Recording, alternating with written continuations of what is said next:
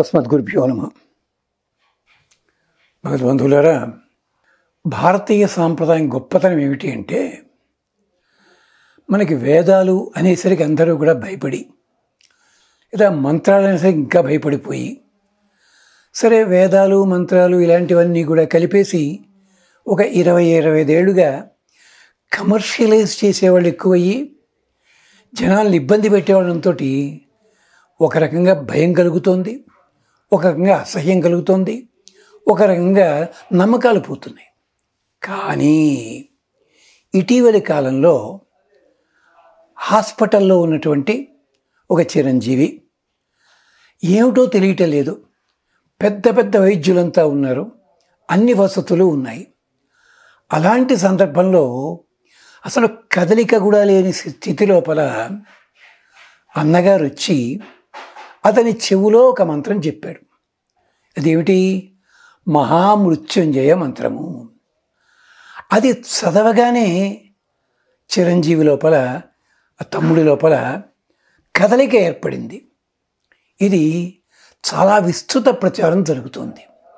మంచిది.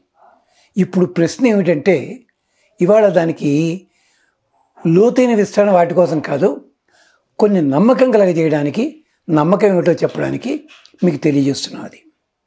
ఏమిటంటే ఇది మంత్ర శబ్దానికి అర్థం ఏమిటంటే మననాత్ త్రాయత ఇది మంత్రం.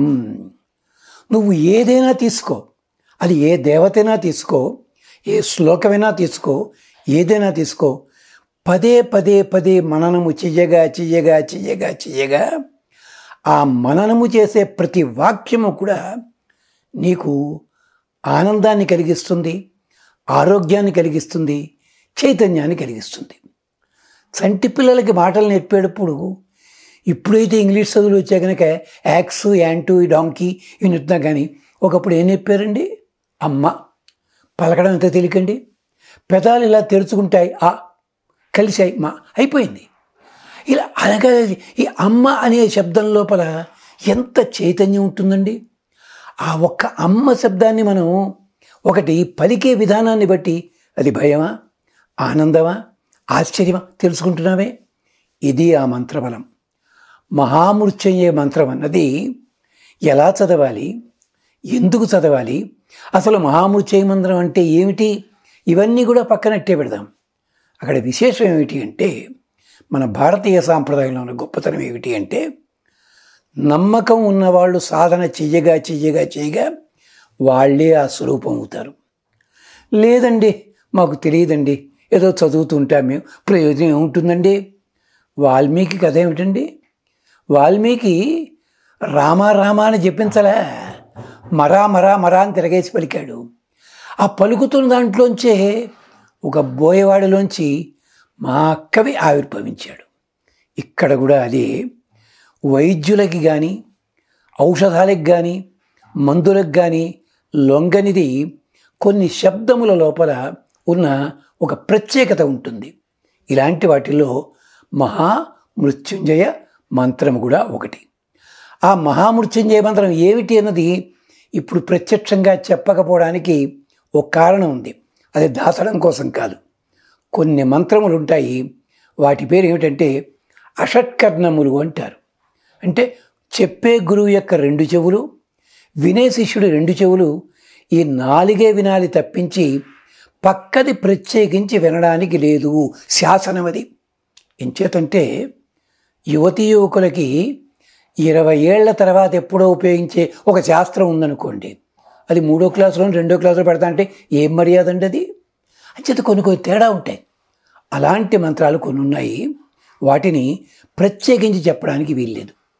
అలాగే ఉత్తర హిందూ దేశ ప్రాంతంలో కూడా గోడలమైన మంత్రాలు రాస్తుంటారు. కానీ ఆ మంత్రంలో ఒక అక్షరం కొంచెం మార్చి రాస్తుంటారు. ఎందుకని? అవి రహస్యమైన మంత్రాలు. అది గురువు ద్వారానే వినాలి. అలాంటిదే మహామృత్యుంజయ మంత్రాలు ఒకటి కాదండి. చాలా ఉన్నాయి. రుద్రాధ్యాయమునుంది లేదా మరొకటనుంది. అలాగే కుంతాప సూక్తాలని చెప్పి దాంట్లో కూడా ఒకటి చూపించారు. అంత మాత్రమే కాదు స్వామి నన్ను రక్షించుగాక అనే మకుటంతో ఋగ్వేదంలో నూట డెబ్భై మంత్రాలు ఉన్నాయి ఇవన్నీ ఉన్నాయి లేవని కాదు. వాటి ప్రత్యేకత ఏమిటి అంటే నీకు శ్రద్ధ కలిగి జపించావా? ఫలితం ఖచ్చితంగా నీకు లభిస్తుంది. నీతో పాటు నీ వాళ్ళకి కూడా లభిస్తూ ఉంటుంది. ఇది మొదటిది. లేదండి చదువుకోలేకపోయావు. ఏం చేయాలి? ఆ మంత్రాన్ని పెద్దలు ఎవరైనా కాగితం మీదో దేని మీదో రాసిచ్చినట్టయితే ఆ కాగితాన్ని నీ ఇంట్లో దైవం ముందు మా ఇంట్లో దైవం లేటండి ఫోటోలు లేవండి ఫోటోలే ఉంటాయండి మంచిది.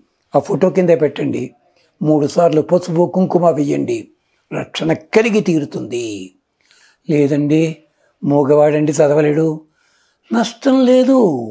అది తలుచుకుని దండం పెట్టుకుంటే ఫలితాలు వస్తాయి ఇలాంటిదే జరిగింది. అక్కడ ఎంచేత ఆ చిరంజీవి అబ్బాయి ఎవరి వంశం అండి? ఒకప్పుడు పౌరాణిక పాత్రలుంటే వాటికి జీవం పోసి వాటిని చివరికి రాముడి బొమ్మ అనేసరికి ఆయన ఫోటో పెట్టుకునే వాళ్ళు ఇప్పటికీ కోస్తా జిల్లాల్లో కొన్ని దేవాలయాల్లో రాముడి విగ్రహం ఆ రూపంలోనే ఉంటుంది. అలాంటి పెద్దలు ఆ పెద్దలతోటి పనిచేసిన పెద్దలు ఉన్నారు ఇలాంటి వాళ్ళ ప్రభావం అంతా కూడా క్రమంగా వంశపారంపర్యంగా వస్తుంది. ఎన్నేళ్ళు? ఇరవై ఒక్క తరములడ్డు దొరుగ్వేదం ఏడు ఏడు మధ్యన ఏడు. అందుకని ఆ మంత్రాన్ని వాళ్ళ సోదరుడో పెద్దలో చెవులో చెప్పగానే వెంటనే ఫలితం లభించింది. ఇక్కడ ఇంకొక ఉదాహరణ చెప్పి వేరే మంత్రాల్లోకి వెళతాను. ఏమిటో తెలుసునా? ఒక అద్భుతమైన వాస్తుశాస్త్రజ్ఞుడు ఆయన. పరమనాస్తికుడు. ఆయన ప్రముఖమైన నగరాలకి బ్రహ్మాండంగా డిజైన్ చేసిన వ్యక్తి. ఆయనకు హార్ట్ అటాక్ వచ్చింది. హాస్పిటల్లో పడున్నారు. ఎన్నాళ్ళో చెప్పలేమన్నాడు డాక్టరు. ఒక ఆయన ఆయనకంటే చిన్నవాడు కొడుకు వయసు ఉన్నవాడు వెళ్ళి పలకరించడానికి వెళ్ళి బాబు నాన్నగారులా ఉన్నారు అని పలకరించి ఇదిగో అన్నట్టు నాన్నగారికి ఒక కవర్ పట్టుకొచ్చానయ్యా. అదే ఓ పని చేయి నాన్నగారు మామూలుగా లేచిన తర్వాత ఆరు అప్పుడు ఇయ్యి అని చెప్పి ఈ కవర్ ఏం చేయాలండి? ఇంట్లో పెట్టకు. తలాడ కింద పెట్టన్నారు తలడ ఇది వరంగల్లో జరిగింది. పేర్లు చరిత్ర చెప్పటం లేదు. తలడా కింద పెట్టారు. తలడా కింద పెట్టి అయిన తరువాత సాయంకాలానికల్లా ఏరా అబ్బాయి పలకరించాడు ఆయన. అదిరిపోయారు జనాలంతా. వారం రోజుల లోపల బయటపడ్డారు. ఇంటికి వచ్చారు అప్పుడు కుర్రాడి జ్ఞాపకం వచ్చింది. నాన్నగారండి ఫలానా మాస్టర్ వచ్చారు. కవర్ ఒకటి ఇచ్చారండి. తీస్తే ఏం అర్థం కాలేదు దానికి ఆ కవర్లో ఏముందో తెలుసునా? నేను విద్యార్థిని అక్కడ చూస్తున్నాను. సుదర్శన శతకము. వంద శ్లోకాల జిరాక్స్ కాపేది భగవంతుని చేతిలో ఉన్న సుదర్శన శతకము. సుదర్శన శతక పారాయణ దేవాలయాల్లో చేస్తుంటారు. అద్భుతమైన ప్రయోజనాలు ఉంటాయి కానీ ఎవడు పడితే వాడు చేయకూడదు అది ఇంత పదాలు చాలా కఠినంగా ఉంటాయి. అక్కడ చెప్పింది ఏమిటి ఆ ఇంజనీర్గా ఉన్న ఆయన పది మందికి ఉపయోగించిన పెద్ద మనిషి. అలా అయిపోయాడని చెప్పి నాస్తికుడు ఆయన చదవరు. అంచేత ఏం చేయాలి? ఎలాగో అలాగా ప్రభావం చూపించాలి అని అడిగితే పెద్దలు చెప్పారు నాయన ఇది కాస్త బట్టేళ్ళు బొట్టెట్టుకోండి పెట్టుకోపోవచ్చు. అందుకని అది ఆయన తరువాత సుమారు అప్పుడు రిటైర్ అయ్యే స్టేజి సుమారు ముప్పై ఏళ్ళు తొంభై రెండవ ఏటనే వారు కాలం చేశారు. ఈ ముప్పై ఏళ్ళు కూడా చక్కగా స్తోత్ర పాఠాలు చదువుకున్నారు. అంటే మూఢాచారాలతో లేరు ఆయన. అంటే మంత్ర ప్రభావం ఎలా ఉంటుంది అన్నది చూపించాము. అందుకనే మహామృత్యుంజయ మంత్రం అన్నది దొరికితే అంటే దొరుకుతుంది. తెచ్చుకోండి. మీకు పద్ధతిలో చదవగలిగితే చదువుకోండి. ఆరోగ్యం మంచిది. లేదంటారా? అలాంటి గ్రంథాలు అక్కడ పెట్టి పూజ చేయండి. ఇంకొక మాటతో ముగిస్తాను. ఇప్పటికీ పల్లెటూళ్ళల్లో గోదావరి జిల్లాల్లో పల్లెటూళ్ళల్లో చేతి వృత్తుల వారు ఉంటారు. వడ్రంగులు లేదా కంచర వాళ్ళు మరొకళ్ళు మరొకళ్ళు. వాళ్ళు గ్రంథాలు చదవరు. వాళ్ళ పెద్దలు చెప్పిన గ్రంథం ఒకటి దేవుడి గుది లోపల ఆ ఫోటో దగ్గర పెట్టుకుంటారు. ప్రతి పనికి ముందు మూడుసార్లు పసుపు కుంకుమ ఆ గ్రంథం మీద వేస్తారు. ముట్టుకుని చిరిగిపోతున్న గ్రంథం. ఆ గ్రంథాలు ఏమిటన్నది మాట్లాడ నేను. ఇప్పటికీ ఉన్నాయి అలాంటివి. అంత ప్రభావం ఉంటుంది. ఇది మంత్ర ప్రభావానికి ఉన్న గొప్పతనము. అంతే తప్ప లక్షలు లక్షలు ఖర్చు పెట్టి వేలక వేలుగా జపం చేసేసి అక్కడి నుంచి భయంకరంగా ఇవన్నీ చేసేస్తే వస్తు వచ్చి రావచ్చును. కాదు భయపడకండి. మంత్రబలం అనగానే మిమ్మల్ని మోసం చేయటం లేదా వాళ్ళును చేసేవాళ్ళు మీకే తెలుస్తుంది. గమనించండి. స్వస్తి.